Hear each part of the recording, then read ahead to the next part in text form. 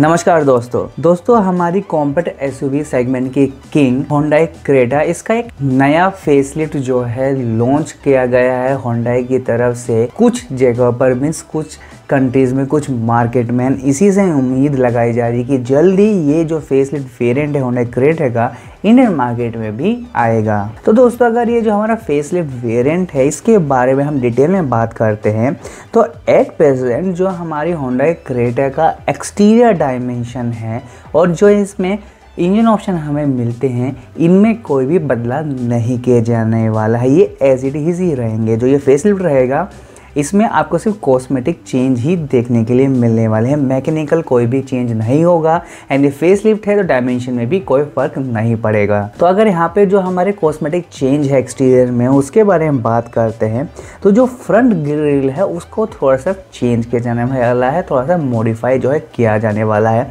And यहाँ पे आपको जो है बिल्कुल ही कंप्लीट ब्लैकआउट ग्रिल देखने के लिए मिलेगी, जिसके सेंटर में बड़ा सा आपको होंडा का लोगो भी देखने के लिए मिलेगा।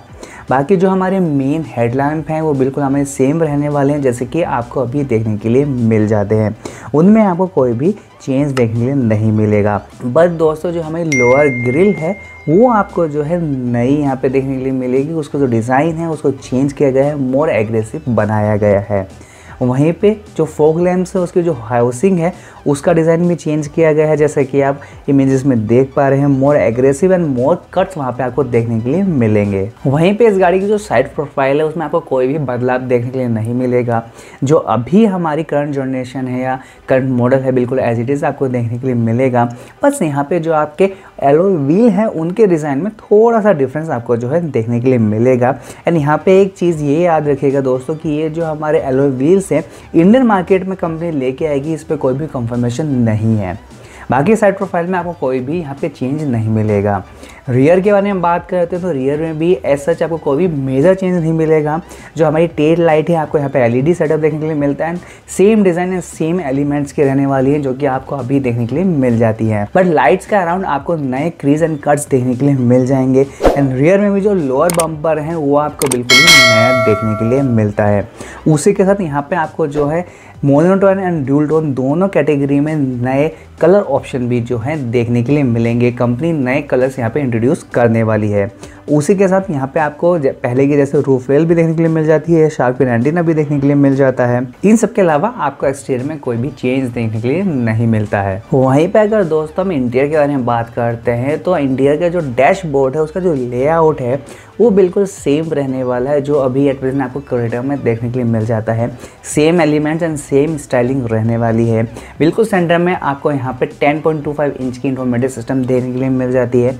बट यहाँ पे आपको wireless Apple CarPlay and Android auto जो है देखने के लिए मिलने वाला है टॉप एंड वेरियंट के अंदर। उसी के साथ फ्लैट बॉटम टाइप का जो यूनिक डिज़ाइन का स्टेयरिंग व्हील आपको क्रेटर में देखने के लिए मिलता था, वो सेम आपको यहाँ पे देखने के लिए मिलेंगे। एंड उसके ऊपर आपको सारे मीडिया कंट्रोल्स भी देखने के लिए मिल जाते हैं। बट यहाँ पे जो आपका इंस्ट्रूमेंट क्लस्टर रहने वाला है, वो आठ इंच का फुल डिजिटल इंस्ट्रूमेंट क्लस्टर रहने वाला है।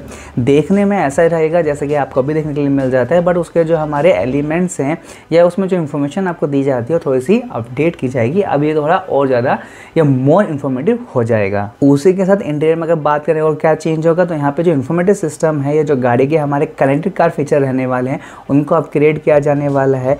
उसी के साथ यहाँ पे आपको वॉइस कमांड जैसे अपग्रेडेड फीचर भी देखने के लिए मिलेंगे। बाकी जो आपको यहाँ पे फीचर देखने के लिए मिलते हैं एट प्रेजेंट वही देखने के लिए मिलेंगे बट यहाँ पे एक अपग्रेड रहने वाला है कि जो आपके रियर सीट्स है, उसके लिए भी आपको चार्जिंग पोर्ट्स देखने के लिए मिलेंगे। एंड दोस्तों, ऐसा भी कहा जा रहा है कि रियर में आपको वायरलेस चार्जिंग पैड भी प्रोवाइड किया जाने वाला है, जैसे कि आपको एलकजम में देखने के लिए मिला था।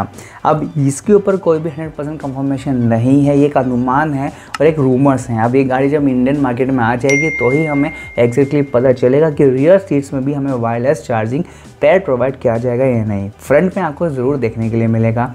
कूल्ड ग्लव्स वो आपको देखने के लिए मिलेगा। बाकी सारी चीज़ें आपको एज इट इज़ देखने के लिए मिलेंगी, जो कि आपको एट प्रेजेंट क्रेटा में देखने के लिए मिलती हैं। वहीं पर अगर सेफ्टी के बारे में बात करते हैं तो जो हमारे व्हील्स हैं, वो ऑल डिस्क ब्रेक आपको देखने के लिए मिलेंगे। आपको यहाँ पे टॉप एंड वेरियंट में six to seven air bags का ऑप्शन प्रोवाइड किया जाने वाला है। यहाँ पे आपको टायर प्रेशर मॉनिटरिंग सिस्टम भी देखने के लिए मिलेगा। एंड यहाँ पे आपको थोड़े बहुत एडवांस सेफ्टी फीचर्स भी देखने के लिए मिलेंगे। लाइक यहाँ पे आपको जो है ब्लाइंड स्पॉट मॉनिटरिंग सिस्टम देखने के लिए मिलेगा। आपको यहाँ पे लेन कीप असिस्ट भी देखने के लिए मिल जाएगा। Active emergency brake driver monitoring system hill launch assistant intelligent additive cruise control down hill control जैसे बिल्कुल नए आपको यहाँ पे सेफ्टी फीचर्स देखने के मिलेंगे। यानी जो सेफ्टी फीचर्स हैं, थोड़े बहुत मोर ओवर आपको ऑटोमिनस लेवल वन के फीचर्स देखने के लिए मिल जाते हैं। तो यहाँ पे आपको अब क्रेडो में भी काफ़ी हद तक एडवांस सेफ्टी फीचर्स देखने के लिए मिलने वाले हैं। काफ़ी अच्छी है, काफ़ी एक अच्छा स्टेप जो है होंडा की तरफ़ से रहने वाला है। ये कुछ चेंजेस हैं जो कि आपको क्रेटा के फेसलिफ्ट में देखने के लिए मिल सकते हैं। इनके अलावा यहाँ पे कोई भी आपको मेजर अपडेट देखने के लिए नहीं मिलने वाला है। अब अगर इसके प्राइसिंग के बारे में बात करते हैं तो एट प्रेजेंट जो क्रेटा आपको इंडियन मार्केट में देखने के लिए मिलती है, उसके मुकाबले यहाँ पे आपको जो है fifty thousand to one lakh का डिफरेंस देखने के लिए मिल सकता है। एंड अगर इसके लॉन्च डेट के बारे में बात करते हैं तो ये जो है हमारा नेक्स्ट ईयर क्वार्टर वन या टू तक जो है इंडियन मार्केट में इंट्रोड्यूस कर दी जाएगी। बाकी इसके लॉन्च के ऊपर अभी कुछ भी कंफर्म डेट या कंफर्म इन्फॉर्मेशन नहीं है। तो ये जो छोटे मोटे अब कंपनी ने अपडेट की हैं, इसके चलते हुए जो हमारी X V seven double O है और newly launch M G Astor है, उनको थोड़ा बहुत अच्छा कॉम्पिटिशन ये गाड़ी प्रोवाइड कर सकती है। बाकी इस गाड़ी के बारे में आप क्या सोचते हैं, आपकी क्या थिंकिंग है कमेंट सेक्शन में कम करके ज़रूर बताइएगा। मैं था आपका होशन दोस्त ईशान, और आप देख रहे थे आपका अपना यूट्यूब चैनल मोटो मफ आज की वीडियो में बस इतने दोस्तों। अगर ये वीडियो अच्छी लगी हो तो वीडियो को लाइक कीजिएगा, शेयर भी कर दीजिएगा, एंड अपना प्यार दिखाइए और मोटो मोटी फैमिली के साथ जुड़ जाइए। अब आपसे मुलाकात होगी एक और नई इंटरेस्टिंग वीडियो के साथ। जब तक लिए दोस्तों, नमस्कार।